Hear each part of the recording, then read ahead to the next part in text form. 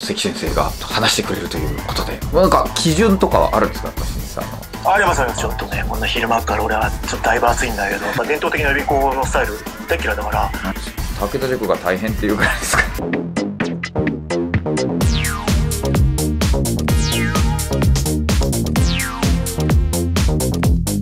そうで始まりました、もちチャンネル。さあ、今回はですね、はい、急遽、もう最近緊急で動画撮ってるんですけど、ここが多いと思うんですけど、緊急でですね、関先生が話してくれるということで、英語講師オーディションでね、関先生、審査していただきまして、まあいろんなところでいろんな声が上がっている中、どういったお考えなのかっていうのをですね、はい、話してくれるということで、聞いてみたいと思います。そして、予備校業界に関することもね、ちょっとお話聞こうかなと思っております。ではですね、かけたいと思います。お疲れ様です。あ、お疲れ様です。お疲れ様です。あ、ありがとうございました。今回審査していただきまして。これ電話もう流れてる？あ、はい、もう撮ってます。はい。はいはいはい。あの、いろいろ大変でしたね。あ、いい ご苦労が。いやいや、まあ、ちょっと、ちょっと、まあ、いろいろありましたけど、はい。ええー、いや、でもね、俺びっくりして、はい、あの、動画楽しみに見たら、はい俺だけかなと思ってあんなこと言うのがね。そしたら、そう、俺だけあんな放棄したの俺だけだ。まあね、俺もう、いいやと、この先生ちゃんとやってくれだろうと思って。そしたらまさかのね。そうですね。だから、俺もう、あれは答えでしょっていう一つのね。なるほど、なるほど。うん。だから俺、3人が入れると思ったから、はい、で、まあ、森田先生分かってると思うけど、あれだよね、俺別に、ね、審査員の3人が顔色伺いながら、これは、なしにしますみたいな、そんな打ち合わせもちろんないし。そうですね、ないです。一切ないです、ね。そうですね。で、俺も一言だもんね、一方通行で、今回なしですって。はい。そうです。ね、これ選ばなきゃいけないんですかって一回探り入れたりともしないし、はい、俺はもう絶対なしだと。そうそうですね、本当に。あだからまあ、分かったことは2つあって、1つは、まず、同じ意見になるんだなということと、うんもう一つは安子先生って本当に噂通り人のいい人なんだな 本当人柄が出てるなっていう俺ね ちょっと予想したのね、はい、福崎先生も入れるんじゃないか入れてくれるんじゃないかあなるほどなるほど俺と成川先生はまあなんか1975年生まれはねちょっとね、はい、まだまだ若く尖ってるんで、うん、まあそう言っても23票で結果出るかと思ったらいやちょっとそれもすごいびっくりしたし、うん、やっぱりまあね何が正しいかどうかわかんないけど少なくとも審査を任されてる人間がこれをこうだと思ったって、うん、あのあれですよね M1 のマジカルラブリーと一緒で。そうそうですね。はい。ね。うん、審査員がそう言ってんだったら、それはもう、それだし、漫才かどうかなんて騒いでんじゃないよって。うん。まあ、と、俺は思いますし、多分、まあ、ちょっと成川先生と福崎先生の言葉を勝手に俺が言うわけにいかないんで。はい。すごかったです。福崎先生、本当に、ちょっと選べませんって言って、もう一日くださいって。そこはやっぱ福崎先生のやっぱ人格者でね。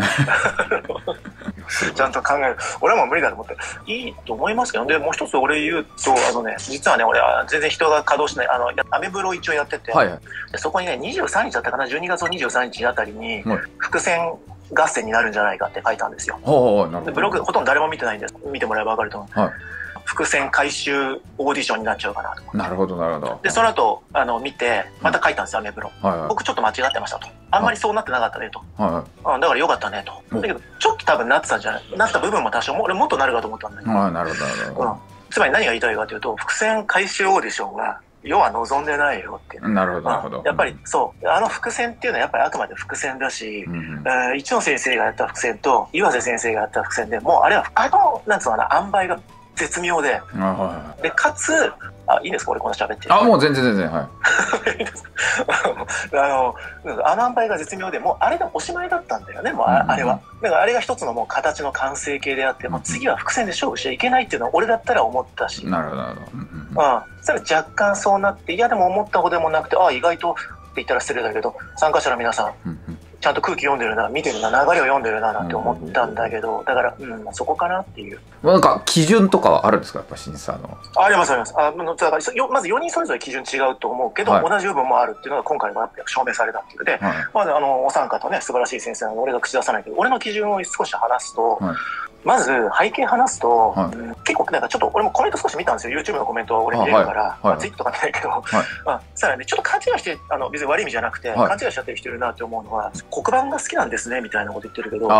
はい、俺全然違うよね。だって前回かなわかんないけどなんか岡崎に対して俺異種格闘技戦で何でもありの戦いで素晴らしいって言ったんだから、はい、僕はあの黒板芸というかは、むしろそういうなんか伝統的な予備校のスタイル大嫌いだから、うん。うん。で、お前黒板でやってんじゃねえかって思うかもしれないけど、俺実は黒板ってほとんど芸にしないんだけど、使ってないっていうか、ただ後ろに書いてあるだけで、あれ別に電子黒板だっていいし、もっと言えば付箋でもいいし、うんうんうん。うん、あの綺麗な板書でどうたらこうたらっていうのを売りにしてないから、うんうん、実はあの単に機械が使えないだけで俺結構最先端のことやってるんで。なるほどなるほど。まああの電子黒板の授業も、まあ、そのうちリリースされるんで。おお、えー、うん、まあだからなんだって話なんだけど、うんうん、知ってるかなあのロノー先生っていう、はい、なんかアニメーションではいはいはいはい。配配給の後に入れたアニメーションであって、もう完全プロデュースしてるんで、あの、関正夫はいうのかな。ああと、はいはい、刀で顔を上げろってやつね。はいはいはい、そうそうそうあれ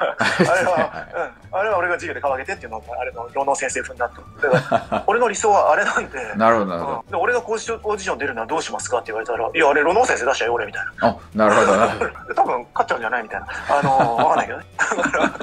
俺一番実はそういうの好きだから、うんうんうん、だからそれ間違えちゃいけないなって、それも踏まえて、やっぱりいろんなスキルが不足してたかなっていうこと。うん、で、まあ、基準はじゃあ何ですかと、それが背景なんだけど、うん、基準は何ですかと言われたら、もう一言で言っちゃえば、もうすごい講師かどうかだよね。に一票入れるっていう。うんうんで、それをもうちょっと具体的に言うと2つに分かれて、1つはまあ経営者目線。つまり、塾予備校の僕が経営者だったら、欲しい人材がやっぱり評価高い。例えば一ノ先生はめっちゃ欲しいし、岩先生もそうだけど、ただまあ、岩先生は学校先生だからね。なので、だから俺が欲しい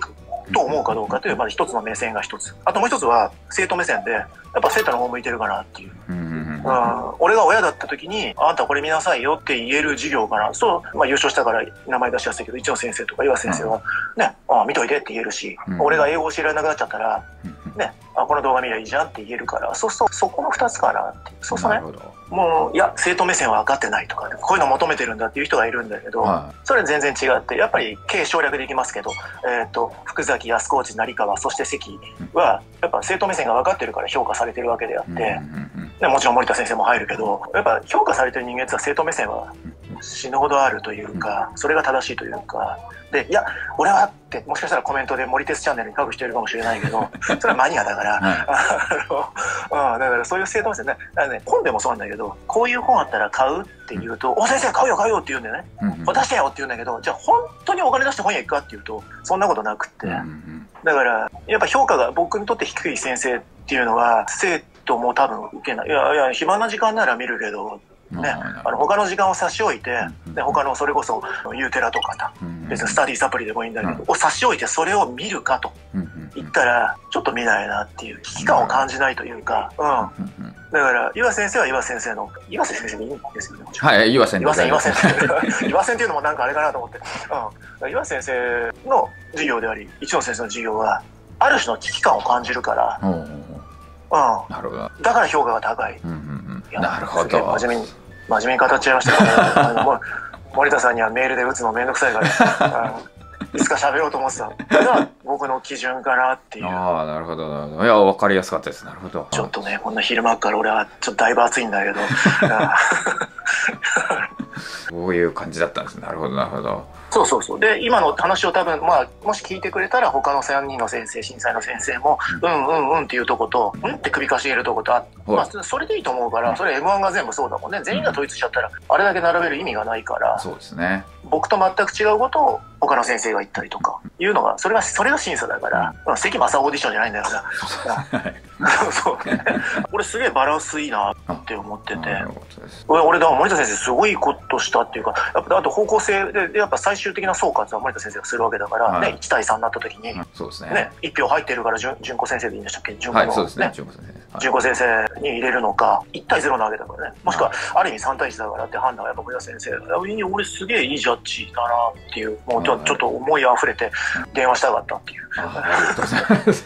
ら、すごいいいことをしてるよね。共通テスト一緒で、万人受けの試験なんかないわけだから、はい、そうですね。うん、どっかの誰かに役立つって、で、そのどっかの誰かが役立てばいいけど、思うんで、まあだから参加者の人には頑張ってほしいなって、俺ツイッターに書いたんだけど、はい、授業が下手だって。あの、だからそれはね、その後に書いた通り、下手は治るから、うん、治せるから、スキルだから、それはいくらでも直せるただ、あの、メンタルは、特に講師のメンタルって治らないから、やっぱあそこに出てって恥をかけるっっていうメンタルと行動力は、俺、俺いつも言ってますよね。言ってますね、はい。ね、あの、講師オーディションの1回目から。で、また今回も同じこと書くのなんかなと思って、今回はちょっと、よく言うと、愛溢れるダメだし、はい、悪く言ってやつあたりをして、まあ、うん、まあ、的確なこと言えたと思うんだけど、で、まあ、戻るけどさ、あれができることは素晴らしいことだから、もう今の業界にいないんで、うんそこにこう、一箇所に集まったっていう意味で、俺参加者、あの、最初の9人以外の人、あれは9人は本戦っていうの？そうそうですね、はい。一応。本戦。で、本戦に残らなかった人も含めて、世に出てないわけで。で、世に出た9人。その行動力っていうのはね、多分、どこの予備校講師よりも圧倒的に上だよと。ただ、それを表現する、そのメンタルを表現するためのスキルがちょっと不足してるねっていう。うんうん、ちょっとっていうかだいぶ不足してるね。それだと、ぐじぐじ言ってるメンタル弱い、可愛いやってる予備高校生たちに残念ながら負けちゃう。なるほど。メンタルだけじゃお金は取れないから、うん、親御さんからね、授業料払ってもらわなきゃいけないわけだから、たとえそれは YouTube であってもね、時間を買う。だから、ちょっと本当に頑張ってほしいっていうか、あの中にしかいないというか、ここにあろうって次第4回目があるのかわかんないけど、でもいいと思いますよ。なんか違う方向に行こうとしたのを、森田先生を中心に講師がなんかボイコットしたみたいな、もう一つ一つの形を示せたというか、ある意味もしかしたらちょっと俺が代表して喋っちゃうのはいけないけど、なんか一つのメッセージじゃないかなっていう、ちょっと業界違うよっていう。ただそうすると今度中にはさ俺予備校のスタイルほら良くないって言ってるから矛盾してるように聞こえちゃうかもしれない、いやいや面白けりゃいいんだよって、パート先生のまあ、今回は僕はちょっとその趣味として満点講師としてはだいぶ低いっていう、だからやっぱり1回目のライレインはもう最高傑作だから、あれは見せるよね、さっきも言ったけど生徒に見せたいかって言ったら4月のねライとレインの説明した時うん分かんないですとか言ってくださいお前なめんどくせえなじゃあこれ見とけよって言えるから。そうだね。うん、そしたらすごいよかったって先生の説明よりいいですって言わ多分言ってくれるから。あと先生ねピッチャーで言うと魔球が投げられるんだよね。魔球が投げられるんだけどあのストライク入れてくんないと困るから。試合で使えないからストライク入れてくる、うん、ライレーレインはストライクだったんだけど、うん、今はねもうなんかね牽制球で負けが投げちゃうみたいな。だから見てる分には面白いんだけどちょっと経営者ではダメだぞっていう、うん、面白かったけど面白かったけど。なるほど、うん、そういう感じだったわけですね。ちょっとライレーレイに戻ってほしいなっていう、まあ大きなお世話かもしれないけど、あれが生き様なんだろうけど。予備校業界、今後、ちょっとどうなっていくんですかね。僕がツイッターで言ってるんです僕のあのいいところで悪いところは、裏表がないっていうか、うん、思ってることを本当ツイッターに書いてるままだから、でも、もうダメでしょ。あの、予備校自体はなくならないんで、そんな学校法人が潰れるわけないんだから、うん、予備校、だからあと10年後、20年後、予備校って何って言ったら、あ、あのなんか個別のブースでビデオを見るところですよねとか、うん、AI と学ぶとこですよねっていう定義が変わっていくっていう、今のスタイルは、それはコロナのせいじゃなくて、うん、僕は講師のメンタリティだと思うんだけど、でそれが講師オーディション出た人にあるよねって言いたいんだけど、まあ、森田先生とどうだっけ？あの、一番初め喋ったのはあれか、池袋のメトロポリタンか。ああ、はいはいはい、そう。ですね、そうですね。そうそう。まあ、いつもホテルに喋ってんだけど、うん。俺、森田先生見たけど、ああ、なんかすごい予備校愛に溢れる人だなと思って、うん、やっぱ予備校がすごい好き。で、それは俺ももちろんそうなんだけど、うん、予備校文化は好きなんだけど、今の予備校の体質っていうのはとても好きでいられないっていうか、うん、好きだからこそもうちょっと耐えられないというか、ど、どういうこと？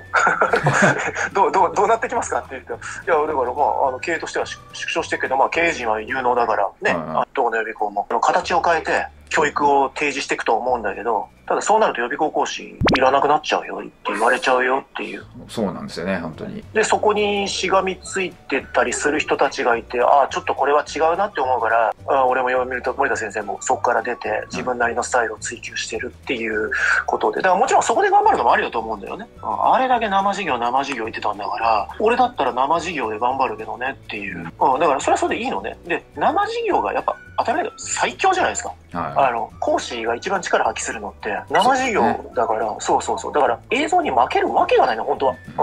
だから、でなくなるわけないし、学校のシステムがね、うんうん、生授業というか、まあ、ちょっと学校で勉強は違うんで、ちょっと話しごちやすとあれだけど、だから、そこでちょっと気概のあるやつが出てきてもいいんじゃないかなっていう。あのね。で、それをちょっと2、3年煽ってるんだけど、意外と、あれ？みたいな。で、それ、もう把握する場って講師オーディションしかないから、それを見る場って。そうですね。だから、そういうのがいてもいいのかなって。もちろん、だからさっき言った通り、こう、もう完全に映像に振り切っちゃっても、それ、さっきの基準でクリアすれば合格だから、だから、それでもいいし、逆に生授業に振り切っちゃって、講談師みたいにね。俺思ったんだよ。だからさ、第3回俺が出るんだったら、俺も黒板も使わないと。喋り一本だと。なるほど。うん。そ多分それだけで興味引くし、うん、もちろん話術あってのことなんだけど、それはそれでね、違ったダークホースでよかったんじゃないかなっていう。まあ、ちょっと言いたいこといっぱいあるからいろいろ喋っちゃうけど、予備校の質問はややばいんじゃないですかっていう。だ,、うん、だから、予備校という場でね、やっぱ楽しいじゃないですか、あれ。なんか無駄に高い教団良いっしょって残って。で、本当によくあの、昔最近ないけど、昔よくあの、コンサートで興奮したあの人が舞台から転落して骨折したとかよく聞いたんだけど、まあ、バカじゃないかと思ってたんだけど、あれをちょっとわかるっていうか、やっぱ我々も授業真剣にやってると落ちそうになるから、でもよいしょって登って、で、マイク持ってね、で、100人、200人が動くっていう、もう最高の舞台なんで、そこで頑張りたいって思う講師がいてもいいし、な、なんでいないんだろうって。そうですね。だから僕はやっぱりいつも関先生、成川先生も最後のカリスマになってて、うん、その後が全然出てこないなっていうのが。うん、そう。そう。で、逆にだから映像で振り切ってるなんか本当になんかやつもやつもできるけど、あんま出てくるイメージがないし、うん、発掘したいなと思ってるんですけど、ずっと。なんか、寸大は寸大の中でみたいなのはあるんですけど、こう、なんかこう、全国区っていうのとかは。ああ、だから、それがやっぱり予備校文化が衰退してる原因だよね。うんあの俺昔10年ぐらい前それ前じゃない7年ぐらい前朝日新聞の取材で朝日新聞で行ったんだけど、うん、あなんかホストクラブみたいになっててどこどこのホストクラブナンバーワン何人だよっていう。だからそう寸大なら寸大っていう箱の中で1位2位3位つけてで河合塾の中で1位2位つけてとか知らないけど、うんなんか、それ違うんじゃないかなっていうか、まあそれは、業界が盛り上がってる時はね、要するに子供が多い時は、それは寄せにしてんの？とか、っていう、いろいろあっていいと思うんだけど、もう今の時代はそうじゃないから、だからナンバーワンホストとか言ってる場合じゃないよね、みたいな。うん。ローランド出てこなきゃっていう。ああ、そうですね。うん。まあ、白崎仁でもいいんだけど、もうその箱から出てっていう。ただもう完全に大手進行っていうのが生徒たちにはなくなもうこれはもう10年ぐらい前からなくなってきてるんだけど。そうそうですね、そこは本当に。うん。みんなだって塾っていうし、予備校なんていう人に予備校ってあれ浪人生が行くとこでしょみたいな、うん、塾って言って講師がどうとかじゃなくてやっぱコーチングっていうものがね重視されてだそんなやっぱなんか講師にも風当たりが強い文化というかなんなんていうかななんかなかなか講師が活躍できる場もないのかもしれないけどでもあるじゃんっていうねご精進あるじゃんででで出たじゃんっていうでちょっと今回残念だったじゃんっていう。でも指針にしてくれればいいかなって思うんですけどね。なかなかやっぱり関先生の後が続かないっていうのがすごくあるんですよね。なさっきも言った通り、生事業が最強なんだから、うん、もうちょっと生事業部門が頑張っていいんじゃないかなっていう、うん、もちろん僕は映像の方がいいと思ってるから、映像に振り切ってる人間で、負けないぞって思ってるけど、うん、俺逆の立場だったら映像の中に負けるわけねえだろうと思う。でもその後ね、僕の理想とはちょっと、あ理想っていうのは要するに、できれば多くの人のその、とか、あの、島の人とか、島、島に住んでて予備校なんてありませんとか、まあまあ、それは、ね、理念がいろいろあっていいわけだけども。まあ、またこれからも関先生はこうね活躍していくと思いますがこのでもね、ああのこんなこと急にあ、はい、もう終わりですよ俺なんて、あの じゃじゃもうがっつりおじさんでしょうね。俺も前からもう映像早くやめるやめる映像やめるっていうか、うん、映像は残るからいいんだけど、うん、やっぱいつまでもおじさんがいちゃいけないよねっていう。だからそれも一つが予備校で予備校っておじさん多すぎないっていう。ああ確かにそういうのも言ってましたね前に。関肘おじさん二人でって言ってましたね。うちの事務所来てくれた時ね、はい、そうそう。でまあ映像の中ではねあの年取らないから、ギリ若いおっさんでいられるけど、でもそうそう、やっぱね、やっぱお笑いの第7世代っていうのが台頭してるのと同じように、全然いない この業界にそうね、だからいつまでもね、なんか、俺の世代って、俺の世代どころじゃないよね、もっと上の世代が。そうですね。まだまだいます、まあ、1割でののさばってるっていうか、うん、昔は多様性とか言って、そのなんか、仙人みたいな先生がいて、うん、昔はそれこそなんか寸大の浪人生活、これ昔とか30年前の話なんだけど、うん、の文化。だから、例えば作家の中谷昭弘先生とかっていうのは寸大に通ってたんだけど浪人の時に、同じテキストしてる先生5人全員潜ったみたいな。ああなるほど。へえ、うん、でこの長文をこの先生は公開釈して次の曜日にまた別の先生で同じ長文の授業出て、みたいな。それってもう予備校文化全盛期ででそういうのが許されたというかそういうのが楽しかったっていう時代でで今違うからそんなことやってる暇もないし、うん、そもそも予備校に潜るっていうのがあるのかどうかも分かんないしはねだからそうそうそうだからだから何が言いたいかそう多様性だって、だから一つの長文をね、ある先生は教養と背景知識を武器に喋る先生がいて、もう一人はゴリゴリでただ、だらだら和訳、だらだって言っちゃいけないけど、俺が嫌いだから言っちゃったけど、うん、だらだら和訳す。でもそれはそれで一つ大事だよね。代わりに和訳してくれる。で、もう一つは文法的アプローチをして。で、もう一つはじゃあ永田先生みたいに、あ急に2行ぐらいでやめちゃって、人生と愛を語り出すみたいな。うん、そうそれが許され、はいはい、だから多様性があってよかったんだけど、要するに昔はドラクエのパーティーで言うと4人がかりでよかったの。僧侶もいてよかったし、魔法使いもよかった。なんなら遊び人もいてよかったんだけど、今は違うから、うん、今はもう完全に勇者スタイルが求められてるんで、はいはいつまり魔法も使えなきゃいけないし、戦いなきゃいけないし、うん、一つ一つを取ると弱かったりするのは振り切ったやつが強いから。なるほど。だ昔はほら、英作に振り切った先生とかいたでしょ、はいはいはい、全然他は人気ないんだけど、英作だけ超強いとか、うん、リスニングだけ超強いとか、はいはいはい、長文の授業やりゃしないんだけど、話だけ感動するとか、はいうん、これ、え、これ流れてるんですよね、まだね。あ、はい、大丈夫です。あ流れてなければ全部固有名詞出すんだけど。あ、別にね、まあ、メ、メンバーシップだけにしちゃってもいいので、そこの名前の部分は。でも、今の褒め言葉ですよね、俺ね。そうですね。感動させる先生がいられた。でもしかは逆にもテキストにマシンのようにやる先生がいたりとか、で、なんか二浪性あたりはそういう先生を受けないみたいな。うん、それはいいか悪いかは別にして、そういう多様性、今ね、みんな今大好きな言葉で多様性というのがあってよかったんだけど、今違うから、こんだけ YouTube でも、ね、それ YouTube で戦場戦ってる森田先生ならもう身に染みてわかる通り、もうね、あの、何でもありの世界で、多様性とか言ってたら潰れるぞっていう。でそんな中で戦ってくじけてっていうのは、俺まあその一番代表格は森田先生だと思うんで、まあね、だってもうめちゃくちゃでしょだって YouTube とかで授業、まあ俺のもね、結局スマホで授業やってるから、そうおすすめでさ、隣でさ、英語の先生出てこないんだから。はいはい、そうですね。ね綺麗な水着のお姉ちゃん出てきちゃってさ、それにどうやって勝てっていうのみたいな。そういうことですよね。うん。だからそれに張り合わなきゃいけないっす別にこっちは水着になるわけにもいかないしさ、うん、一瞬だけ伸びそうだけど。あの一瞬だからね。うん、だからそこを、まあ、戻ると、講師オーディションの人たちは分かってほしいかなっていう。うん、森田先生、俺すごいなっていうのは、後ろできちんとこう、監督をするだけで口出さないの、俺すごいなと思って。俺だったら絶対口出すし、俺の1票10点ぐらいしちゃうし。他の4人の先生が4人入れても俺10点みたいな。だけど、勝手に俺が邪推をして、森田先生の立場を邪推して言うんだったらそういうことかな。な。もう一部ぐらいあるんじゃないかな。参加者の皆さん、これから参加したい皆さんを汲み取って、で、あとさっき言ったけど、基準で言ったけど、生徒の方見ている。なんか今回、今回っていうか全じゃないんだけど、うん、一部の先生に参見されてる、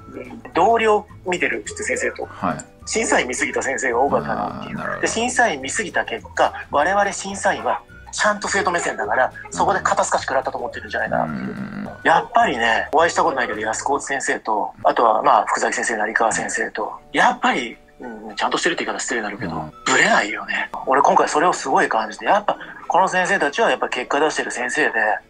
どんなにおかしくなってもっていうか、見た目上おかしくなってるの俺だけなんだろうけど、あの、いろんな本出したりね、なんかテレビ出たりとか、うん、おかしくなってるのは俺だけかもしれないけど、やっぱブレてないなっていう。だ予備校っていいじゃんって思った思いを今全部すいません。ああ、いえいえ。一人でしゃ喋りました。いや、ありがとうございます、本当に。また、ツイッターで暴れてください。と かもうね、だからね、いや、俺、俺、俺の最後の取り出だったんだね、講師オーディションが。あなるほど。結局あれで煽って煽って、多分、世の中の予備校講師の皆さんは、あれでだいぶ腹立つらしいんだけど、はい、あのでも、あん中に俺多分一人ぐらい、30年前の俺みたいな、はい、もしくは20年前の森田先生みたいな、うん、人が、この野郎席って言って、はい、なんかやってくれるんじゃないかなとは思ってて、で、その先生は今頃頑張ってれば、5年後よかったねあの時の大学生ですとかって俺の前に愛しいんだけど、で、俺の元で働かせてくださいでもいいし、席を倒したいですとか、あんたが憎いです、何でもいいんだけど、結果出せばね、そう、そういう人がいればいいかなって思う。でもなかなかいなさそうだな、見つかんないな。で、実際、口はみんな何とも言えるから、でも実際そこで行動を起こしたのが講師オーディションの人たちだから、何人いるか分かんないんだけど、9人プラスアルファだよね。あの、本戦残った9人プラス、出れなかった先生たち何人かは、それができるから、まあ、一番いいメンタル持ってるわけだから、なんでもいいけど、下手が治るんだから、ただ治るっても大変だから、ね、そう簡単に授業ってうまくならないから、そうですね。ちょっと僕の言葉に奮起して、ちょっと本気で頑張ってほしいなって思いますけどね。そうですね。で俺、なんでこんな言うかって、俺別にいい人でもなんでもないから、うん、いい先生いたら俺雇いたいだけなんで。なるほど。でも、でもみんなそうでしょ、うん、多分いい先生、すっげえいい先生いたら安子先生がすぐ投資に紹介してくれるし、はいはい、成川先生また絶対河合塾伝えてくれるし、うんうん、福崎先生だって、福崎先生ね、ヨゼミ教えてくれるし、何よりも俺は福崎先生に拾われたから、ああうん、福崎先生に発掘してもらって、本が出せたから。いや、ぜひ皆さん、その機会をですね、このチャンスを掴んでもらえればと思いますね。いや、俺素晴らしい機会。具体的に何か約束されてるわけじゃないもんね。別に当たり前だけど賞金なんか出さないし。そうそうですね。あの、でも本当にいい先生だったら、森田先生がほっとかないし、あと4人ほっとかないよってね、実際アクションあったわけだしね。一応先生の時に。まあ、もともとね、この企画自体も関先生がやってたものから、ね、作ってるので、これも。まあでもあれはなんかね、あの思いつきで、一回しかやってないし、二型は一回か、一回か。でも横で見てて、すごい、コンセプトもいいし、結果もこうなって、すごいなんか一つの、一つのメッセージを業界に送れたし、面白かったし、ためになったし、救われる人もいるはずだし、っていうか、参加した人は全員救われるはずだと思うんだけど、あとまあ再生数もね、いってるだろうから、それを見て面白かった人もいるだろうし、あ、こういうのがあるんだと。いや、ぶっちゃけいないからね、こんなことやってくれる先生。そうですね。どんだけ業界に貢献してんだっていう森田先生がね、俺なんでそれがみんなわかんねえのかなっていう。すごい。だから俺も、だから一回で辞めちゃった理由、それかな、もうやってらんねえよって、いくらバカと思ってんだみたいな。あの、特に会場借りたしね、はい、銀座で。あ、まあ、あれはあれで別にあのなんか嫌だとかじゃなくて、はい、単に一回やるのがすごい手間と時間とお金かかるから、はい、そうですね。こう、こういう、うん、素晴らしい機会と思いますよ。本当に、うん、なんか、いい、いいことを提供してるなっていうか、ね、なんかスポンサーついてくんないのかなって。森田さんがやめちゃうよっていう。ぜひ皆さん参加して、スポンサーの方も、はい。お待ちしております。いやいや、もうこれ本当ノーカット版でね、流せると思うんで。あ全然全然別になんかあの危険なことなかったんで全然。うんそれはね避けました、はい。でも避けたけど、でも本音は全部、喋ったのは全部本音で、あとはだから予備校の話をあと2時間したいなってだけで、あの予備校業界の話をね、もうたまっちゃってたまっちゃって。うん、やっぱ予備校がどうあるべきかとか、はい俺ならこうするねとか、別にアメトーク的に楽しい話でもいいんだよね。最近のすごい先生とかね、なんか注目の若手先生とか、俺も探してるんだけど、なかなかね、で、授業見てみたいなって、みんなツイッターではいいこと言うから、もうみんな最高だから、で授業見てみるとあれっていう先生も多いし、逆に授業は公開しない先生はやっぱり公開するべきだと思うし、俺は探してますよ。ぜひ皆さん応募してください。そう思います。お願いします。第4回やったら、ぜひ参加してください。すみません。あれ、ありがとうございました、本当に。また、あの、文法書出たら送りますので。はい、話題のやつですね。国に送ればいいですか？ああ、もうそれでも、はい、もう大丈夫です。もう飾ります、絶対。もう。ええー、もうちょっと、えぜひぜひまあちょっと先の話なんで。はい。あとど、どどうですか？なんか、5分ぐらい、あの、なんか、森田先生的何か言っておきたいとか、聞きたいこととか、あの、これからの生き方とか。そうそうそうですね、関先生、これから本も今すごい話題になってるって聞いた。ああ、ねえねえ、もう、もう、いやいや、俺の話はていいですよ。困ってることだったら。いやいやああ、困ってることですか？いや、まあ今、ちょっと武田塾が大変っていうぐらいですかね。いや、でも、これは、カットしない予定だったのに、カットが出るから。いや、でも、なんかね、潔く代表がパッと引いて、新しい社長が誕生して。そうですね。どうなっていくのかっていうのはまだ、うん、皆さんまあ関係ないっていうか指導には関係ないからね。やっぱこれ見よがしにそこを理由に叩く人が出てくるけど、うんもう、ね、今日の一生懸命